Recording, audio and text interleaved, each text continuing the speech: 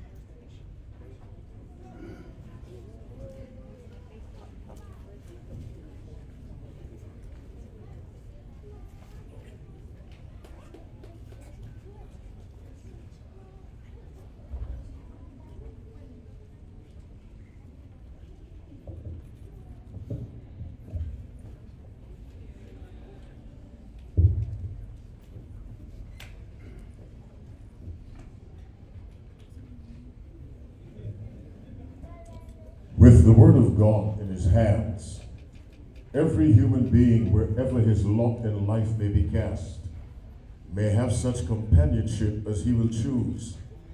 In its pages, he may hold converse with the noblest and best of the human race, and may listen to the voice of the eternal as he speaks with men. As he studies and meditates upon the themes into which the angels desire to look, he may have their companionship. He may follow the steps of the heavenly teacher and listen to his words as when he taught on mountain and plain and sea.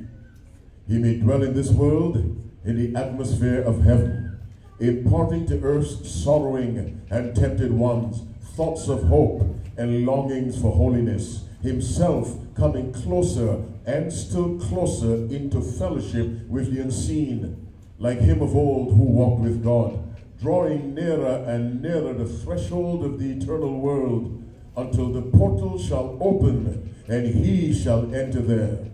He will find himself no stranger. The voices that will greet him are the voices of the holy ones, voices who unseen were on earth his companions, voices that here he learned to distinguish and to love. He who through the word of God has lived in fellowship with heaven will find himself at home in heaven's companionship. Education, page 127, paragraph 1. All the writer is saying, as you spend time with the Word of God, when you get to heaven, it will seem perfectly natural because you have exposed yourself to a heavenly environment by studying the Word of God and fellowshipping with the people in the Word of God. We all have friends on this earth, physical friends. Do you know you can add to your friends by adding Daniel and Joseph and Mary and Esther? Ye, these can be our friends literally by studying their lives. Ellen White is saying if we do that, heaven will become our natural environment. When we get there, it will seem natural. God is good and all the time. Psalm 100, verse 5 For the Lord is good, his mercy is everlasting, and his truth endureth to all generations. Let me say that again. His truth endureth to all generations. You flip that, and what you have is error will one day come to an end along with those who persist in living their lives by error. As long as there has been God, there has been truth. As long as there is God, there is truth. As long as there will be God, there will be truth. But one day, error, false teachings will come to an end, along with those who persist in living their lives in error. How was your morning? Some of you have your luggage. I know you're eager to get on the way, get back to Kuala Lumpur or Penang or wherever you're from. And I'm also eager to get on my way. But my focus is right now. My mind is not in Michigan. It is right here with you to carry out this task. Our subject for this morning, surprise, surprise. What did I say? Surprise, surprise. Let me ask what seems like a silly question is there anyone with us now for the very first time? Anyone? First time? Since Friday. Okay. Where's Jane? Oh, say amen for Jane. Amen. Jane is my cousin. I know you didn't know that. Now you know. God bless your life, Sister Jane. God bless your life endlessly. How many of you are not yet baptized? Can I see your hand? You're not yet baptized. Question for you. What are you waiting for? I'm quite serious. What are you waiting for? I want you to make a decision to be baptized. Make it today. I didn't say I want you baptized today. I said I want you today to make a decision to be baptized. Those of you who raised your hands and said, I have not yet been baptized, pray about that. By the end of the message, I will ask you to make that decision. Which one of you has been baptized, but you really didn't know what you were doing? Can I see your hand? You didn't know what you were doing. All right, okay, I see a few honest hands. You know what you want to do? Do you know what you're doing now? Yes or no? You want to pray for God's guidance and make a decision to be rebaptized. Ellen White writes in uh, Evangelism, page 375, paragraph 2 When a soul is reconverted, let that soul be rebaptized. All right, I won't add any more categories. Before I get into the message, let me make sure my phone is turned off. By the way, forgive me for coming up a little late. I didn't realize I was right after the music. I was standing back there for someone in authority to tell me, come up and speak. So that's why I delayed. Pardon me for that. If you're not using one of these, make sure it's turned off. If you're using it, make sure it's turned down. Favor number two, request number two, while I'm speaking, pray for me and say, Lord, put your words in that man's mouth. Your words. Jesus said, the words that I speak unto you, they are spirit and they are what? Life. Those are the words I want to speak. Favor number three, think. Isaiah 118, come now, let us reason together, saith the Lord. And for putting his words in my mouth, Jeremiah chapter 1, verse 9, then the Lord put forth his hand and touched my mouth. And the Lord said unto me, Behold, I have put my words in thy mouth, and I want to speak God's words. And I believe you want to hear God's words. If I'm right, say amen. amen. How many of you have been blessed during this weekend conference? Can I see your hands? Keep your hands up. Come. Come. Are you still blessed? Okay. Come, come, come, come, come, come. Pray for the preacher. Preachers need more prayer than you might suspect. What's your name? Shekinah. Oh, Shekinah. Johnson. Johnson. Oh, Johnson. Is that it? Okay, okay, all right. Shekinah, you pray first. Then Dr. Johnson will pray. Heads bowed, eyes closed.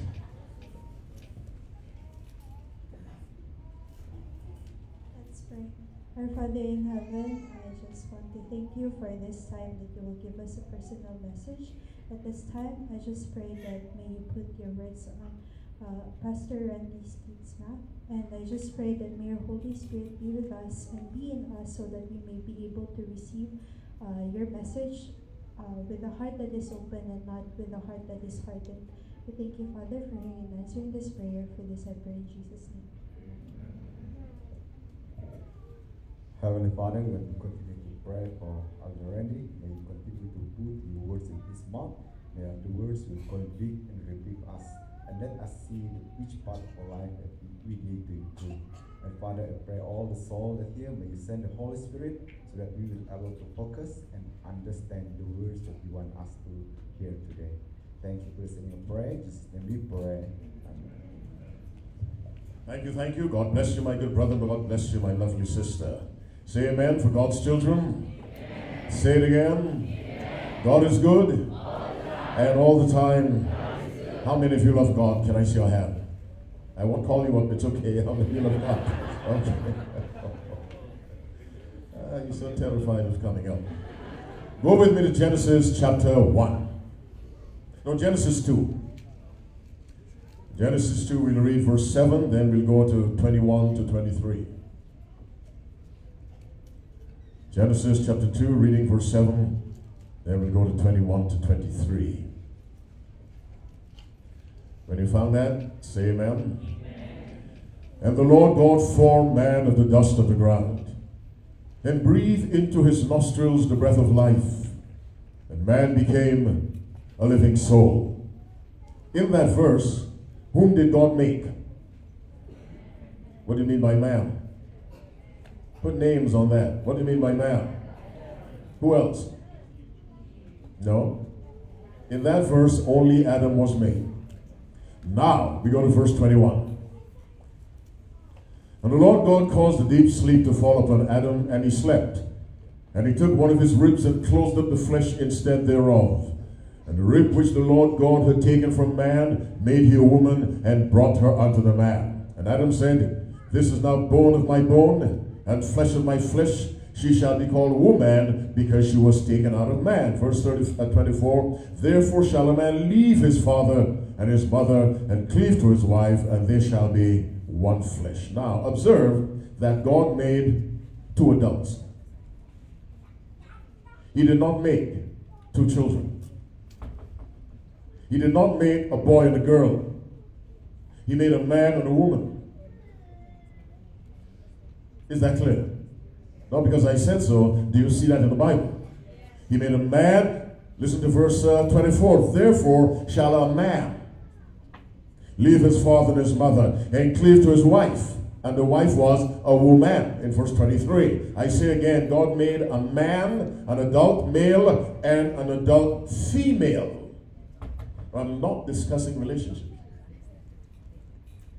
Then God, well, God told them in verse 26 of Genesis 1, and God said, Let us make man in our image after our likeness, and let them have dominion over the fish of the sea, over the fowl of the air, over the cattle, over all the earth, and over every creeping thing that creepeth upon the earth. And then he told them, Be fruitful and multiply.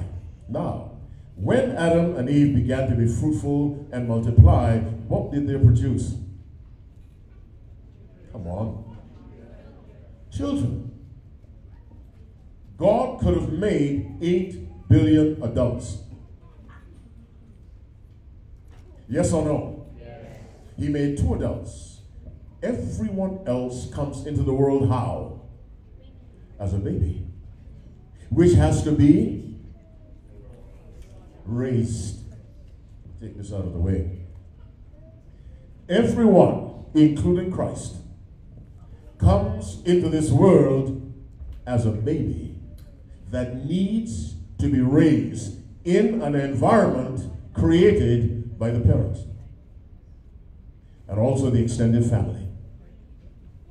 That baby looks to the adults for what? Starts with an E, then an X. Examples.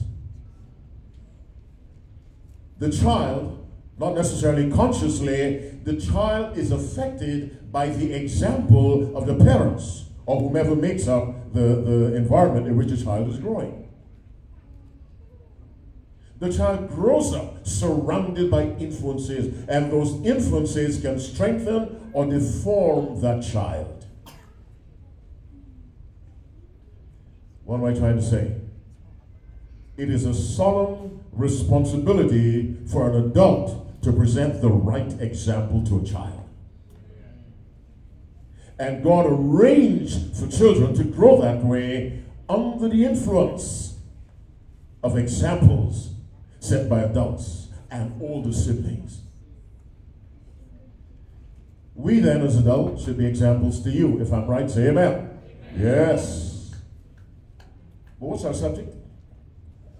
Surprise, surprise. Go with me to 1 Timothy. 1 Timothy. It will not be a long message, but I hope it'll be pointed. 1 Timothy chapter 4. Let's read from verse 12. When you found it, say amen. amen. Read with me and keep the title of the message in mind. Surprise, surprise. Read with me. Let no man despise thy youth. Carefully now. But be thou an example of the believers in word, in conversation, in, in in faith, in purity. Stop. We, you are called upon. Why do I say you? The man to whom, or the boy to whom Tim Paul was writing, was a teenager when Paul called him into service. Paul tells a teenager, be an example to the adults.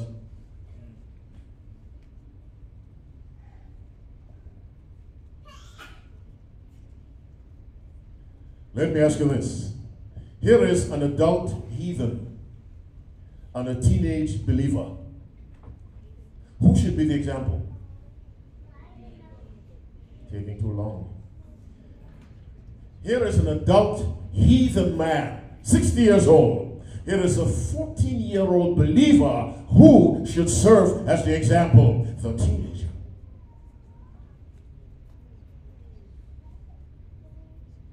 And so the Bible tells youth, surprise, surprise, be an example to adults.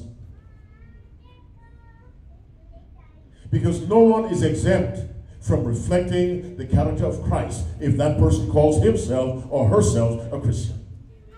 No one is exempt. Be thou an example of the believers. Which believers? Only the teenagers? Every age group. Be an example. Let's look at the list again. In word, how you speak. Set an example for the older members of the church. What's the next word? In conversation, your lifestyle. Set an example for others in the church. In word, in conversation. What's the next word? In charity. Volunteer your time. Give to church causes. Be an example in charity, even though you're 13. Because Christ was an example of mission mindedness when he told his parents, How is it he sought me? Wist ye not that I must be about my Father's business? He set an example for them in keeping your eye on the reason why God gave you life. Here's a child as an example to his parents. In word, in conversation, your lifestyle. Let me tell you something. A faithful teenager is more impressive than a faithful old man. Because the teenager impresses teenagers and the older ones. The older ones will only impress other older ones. The teenager impresses every age group because it is so unusual to see a committed teenager with all the restrictions, uh, restrictions, I should say, that modern society has to offer, be thou an example of the believers in word, in conversation, in charity, in what's the next word? Spirit, your attitude. Wherever you be, you should tend to bring peace, harmony, oneness, Christ likeness. Your spirit should not be divisive in word, in conversation, in charity, in spirit, in faith. Do you know the word? It's Sometimes in the Bible, the word faith means the doctrines, the teachings. Earnestly contend for the faith which was once delivered unto the saints, the doctrines, the teachings of Christ, which was preached by the disciples. Be an example of someone who knows how to explain the 2300 day prophecy. Be an example of someone who can explain the second coming of Christ. Be an example to others uh, with respect to explaining the state of the dead, or the Sabbath, or the sanctuary. Be an example in faith. Be an example. What's the last one? Come on. Come on, what's the last one? Purity. Listen is what Paul tells this young man. Go to chapter 5 now of 1 Timothy, our subject. Surprise, surprise. You have it? And by the way, young men, young women, God does not ask you to do something that He does not empower you to do. So don't say, I can't be an example of that man. He's 147. God has told you to be an example. 1 Timothy 5, reading from verse 1, let me pray again. Father in heaven, be with us now as I try to deliver this message. Speak through me, dear God. In Jesus' name I pray. Amen. Rebuke not an elder, but entreat him as a father, the younger men as brethren, the elder women as mothers, the younger as, come on, how? With all purity. Paul is telling a young man, your interaction with the ladies in the church should be distinguished by purity. Not some purity. Come on. All purity. Because those ladies that you're attracted to, they're your sisters in Christ. Yes, you can marry one when the time is right and if it's God's will. But never forget, you're required to interact with them with purity. We have purity in chapter 4, we have purity in chapter 5, because it is always applicable. What's our subject? Hmm. You always thought only adults serve as examples to young people. Now you've discovered the Bible tells you be an example to adults. How old was Josiah when he was king? Eight. The Bible says he turned not to the right or to the left. He did what was right. Eight. Daniel and the three Hebrew boys, Bible scholars believe they were teenagers when they were taken to Babylon. How they survived all the vice and the immorality and the debauchery and the excess of Babylon is due to the fact that they had a solid foundation. And they were an example to Nebuchadnezzar. They were an example to the chief of the eunuchs. They were an example, or Daniel was to Darius, but he was older then. But in Daniel chapter 1, those three Hebrew boys and Daniel were an example to leaders of an empire. And as a result of their example, they were elevated to positions of high responsibility. Teenagers as examples. What's my charge to you, AOY? Have you ever heard of child soldiers? You ever heard of child soldiers? In some countries, rebels recruit young boys to fight. 10, 11, 12. Mm. And they carry machine guns. And they give them drugs so they're out of their minds, and then they have them fight. Child soldiers. AOY has, should have, child soldiers. 12 year olds who can defend the character of Christ, 13 year olds who can explain the Bible, 14 year olds who can lead someone to Christ. AOY must have child soldiers, not child mercenaries. Remember the other sermon yesterday? Child soldiers who are committed to a cause and they represent a country. What country is that? Oh, mm, mm, the kingdom of God, not Malaysia. God bless Malaysia, the kingdom of God. And anyone who properly represents the kingdom of God will be a blessing to the earthly nation where he or she is grounded. By the way, the best favor you can do to the earth is to keep your mind in heaven.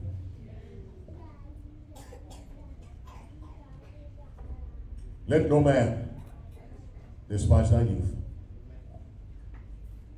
This is a command. Be thou an example. There are no options. To the, unbelief, to the believers in word, in conversation, in charity, in spirit, in faith, in purity. That is what God requires of you. You cannot tell God, I'm just 12. Because God will tell you, Christ was 12. You cannot tell God, I was 8. God will say, Josiah was 8. You cannot tell God, I'm 3. Because God will say, read Luke 180 and read Luke 240. Luke 180 says, and the child grew and waxed strong in spirit. That's John the Baptist. Luke 240 says, and the child grew and waxed strong in spirit. Same upbringing. Did you get that? No, you didn't. My fault. Luke 180. Go to Luke 180 quickly. I won't hold you long. Did I say that already? I think I did. I'll try to keep my word. You have Luke chapter 1, verse 80. 80. Read it with me if you have my version. What does it say? And the child grew and waxed strong in spirit. Now, who is that? John the Baptist. Now go to chapter 2, read verse 40. You have that? Read with me. What does it say? And the child grew and waxed strong in spirit. Children. The child grew in 240, the child grew in 180. One was Jesus, one was John the Baptist. They grew similarly. Does God require righteousness of children? Yes or no? Why do you hesitate? Always speak with confidence even when you're wrong. Does God require righteousness of children? Yes or no? Yes. Whose righteousness? The righteousness of Christ. Ellen tells us children should be told, explain to them the righteousness of Christ. She said it is God's will that children understand righteousness by faith. Something most adults don't. What's our subject? What's the surprise? Come on. This side, what's the surprise? God requires you, come on, to be an example. Are they right? This side. Are they right? Yes. I have a congregation of uncertain people. What will you do? Having heard what you heard, not from me, from the Bible.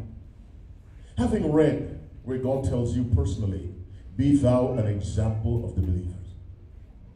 What change do you have to make? Your priorities may have to change. When it says in conversation, it means all areas of the life. It means conduct, lifestyle.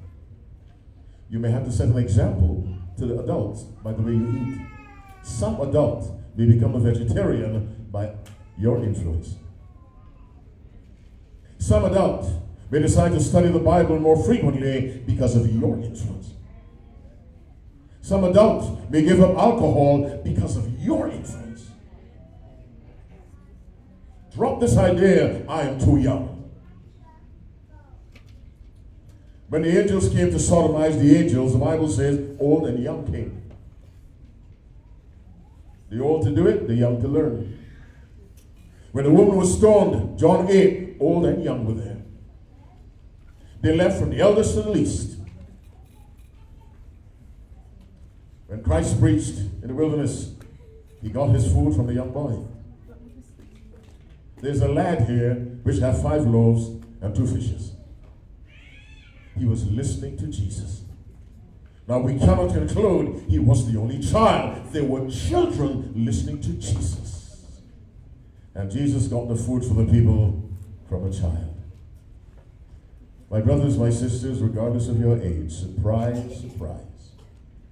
Any human being that God has given life is to be an example to others. But because this is AOY, let me hammer it into your head again. First uh, Timothy 4, verse 12. Let no man despise thy youth, but be thou an example of the believers in word, in conversation, in charity, in spirit, in faith, in purity. That's your task with God's help. Beginning right now. Because probably you were not aware of that before. Now you know.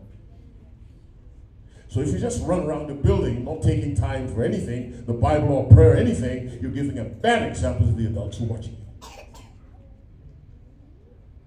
I don't want to put handcuffs on you. I just want you to understand God thinks so highly of you. He has called you to set an example to adults.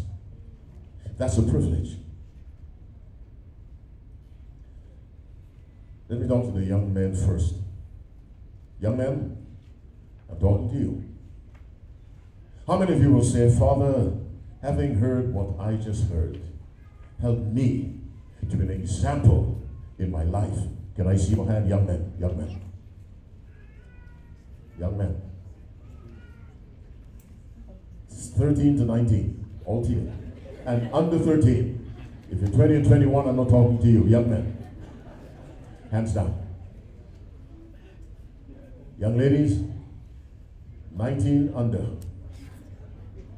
How many of you will say, having heard what I heard, Father, please help me to be an example to anyone of any age who comes into my presence? Can I see your hand? Young ladies only I'm talking to. Help me to be an example. I'm waiting till you raise your hand. Help me to be. That's right. God bless you. Don't be afraid. Hands down. All those who raise your hands, stand with me. I said, all those who raise their hands, stand. The rest of you sit. I want to be an example. Can I? Now, come. Come right here. Come quickly. Fast. That's too slow. Come. Come. Raise your hand. Come. Mhm. Come a little closer. Don't be afraid. I'm your brother. This is very serious. The devil works very effectively through children and youngsters. Come. Now, let me broaden the appeal. Anyone of any age who will say, Father, thank you for this message. Help me to live a life that's an example to others. Can I see your hand? Any age. Ah, stand up with us.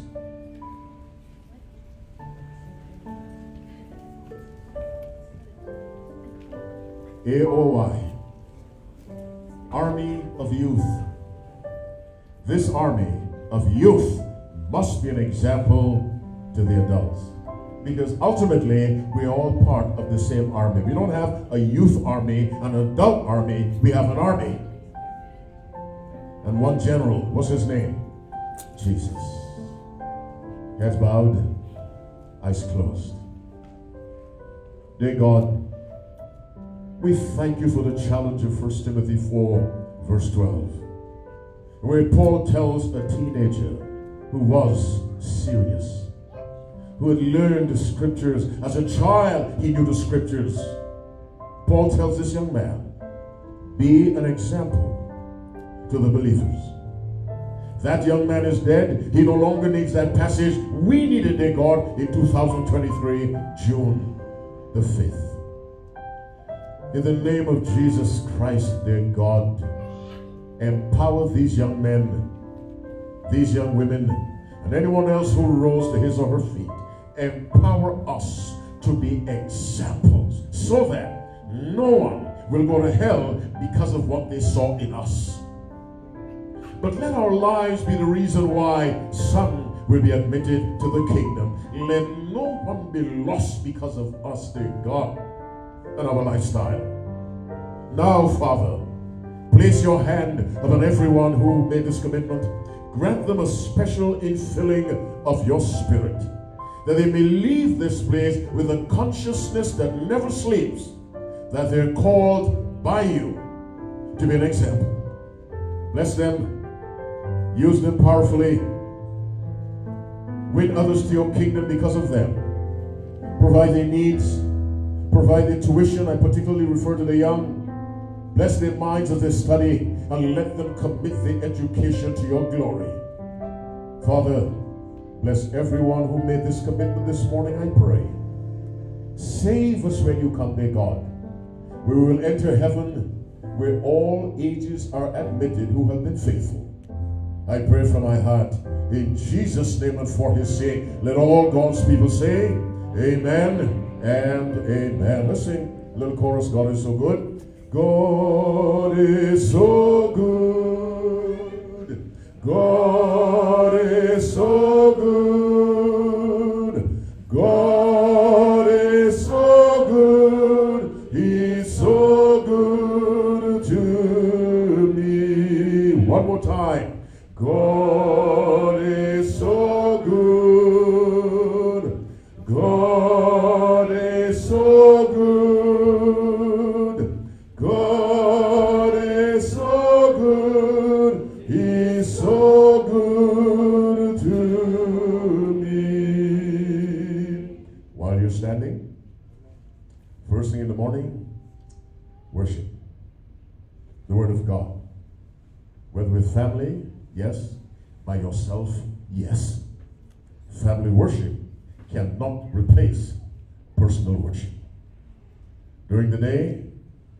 Memorization of scripture, recitation of scripture while you're doing what you're doing. Do your household chores faithfully. That's the way Elroy said Jesus was as careful as a carpenter as he was about his character. So when he had to make a table, he made it with as much care as he protected his character. I just described part of my day. but it's also part of my average day is preparing sermons for the many, many appointments that I have. Time in the gym so I can stay strong to do the Lord's work. And then I spend quite a bit of time ministering to online contacts. All my WhatsApp contacts are my personal church. Let me tell you what they don't know.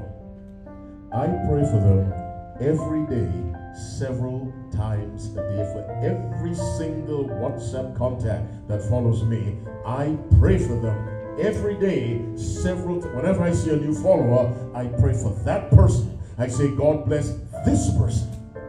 I may never know who the person is, never see him or her until the kingdom comes. I pray. That's part of my ministry. I get a lot of questions. I take time to try to answer as biblically as I can, if I can. And that really takes up my time. So when I'm online, I'm not socializing, I am ministering. As I said, that online group without their knowledge, I regard as my spiritual flock. And I pray for them. Sometimes people write me and they say, I'm struggling. And I say, I'm praying for you right now, and I pray right then. That's my average day. It varies from time to time, but most of it is spiritual activity so that I give the devil as little chance as possible to create a catastrophe. In all you do, in all you do, try to maintain a spiritual mindset. I told you, was it Friday night or Sabbath? When I'm in the gym, if I do a set of bench press, as I rest, I recite a passage while I'm resting. So the mind, because not everyone in the gym is properly dressed. Are you with me? No, you're not. Okay. I recite a passage, mm-hmm. Then I do another set. When I'm tired, another passage. I may take Revelation 15. Takes 30 seconds to say, say it twice or three times, 90 second rest, then you go back. Whatever else you do in between sets, I hope you know what a set is. You recite scripture or you pray so that the mind is always where? In heaven. May the Lord bless you as you order your days so that you become a source of light, encouragement, and strength wherever you go. Now may the grace of our Lord Jesus Christ and the love of God and the fellowship of the Holy Spirit be with us now and forevermore. Let all God's people say, Amen and Amen. May God bless AOY as long as it exists. And when He comes, I hope all of us will be together in that new world. Jesus is coming. This is no joke. He is coming. Let's get ready by His grace and His power. God bless you. I love you. Perhaps I'll see you some other time if God leads you to invite me back. That's not a request. I'm simply saying maybe in the future God will lead you to tell me come back. Until then, let's be faithful. God bless you and I love you.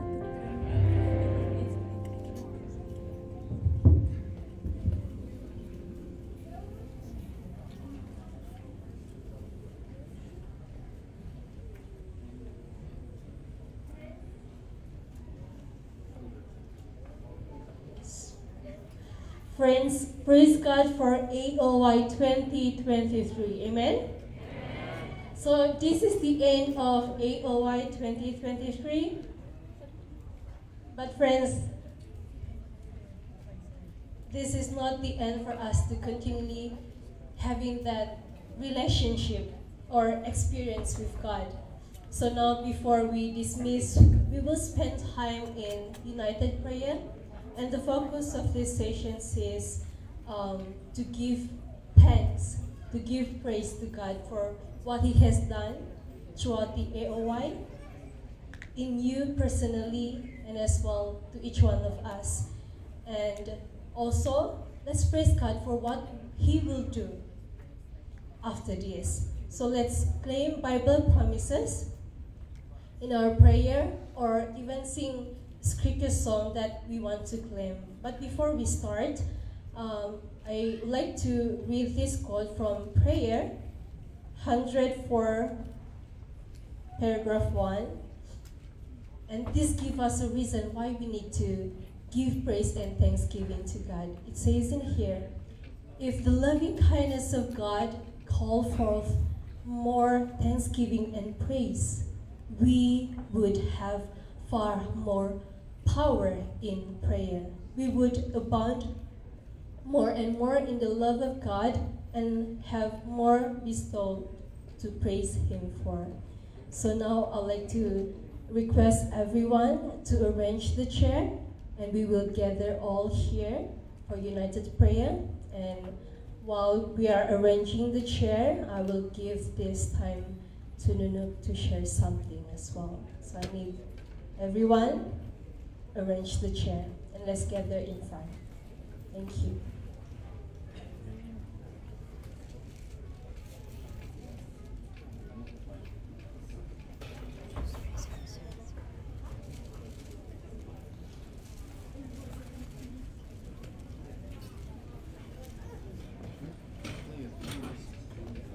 Please don't leave yet. Right? So I would like to encourage everyone to be participate in the prayer and also there will be something that um, Nunuk would like to share to each one of us and I believe it will be something um, that we will praise God for.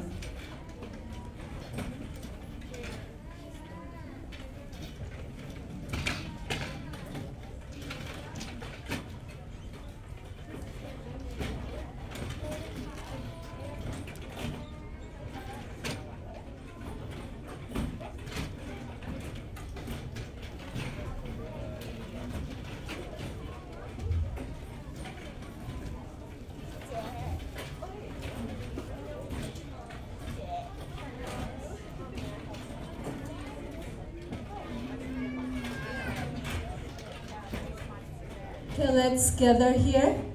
Um, yeah, sorry. Actually, I just need to um, arrange just half of the chairs that we have here. Now let's start gathering in front.